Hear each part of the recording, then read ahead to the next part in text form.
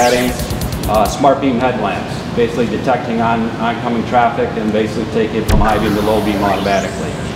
Uh, Powerful 6x9 mirrors is also an offering, new offering, as well as defrost on our power sliding rear backlights.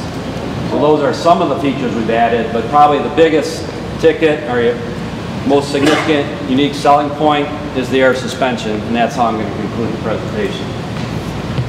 Uh, the air suspension system, because of our unique class exclusive coil rear suspension, we're able to easily adapt the air suspension to this vehicle. So once again, it is a closed system. We have a compressor, reservoirs, and then air springs at four corners. Once those reservoirs are primed and holding pressure, we basically, it is closed and it can, very quickly will, will low level for you. The, uh, the advantage of the system, like I said, is, is load leveling. So regardless of payload, the system will, will basically bring you down to this optimum ride height that we call normal ride height.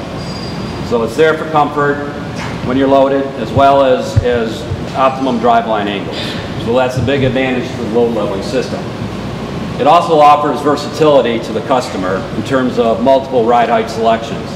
The customer can select four ride positions, off-road 2, off-road 1, normal ride height, and then entry exit.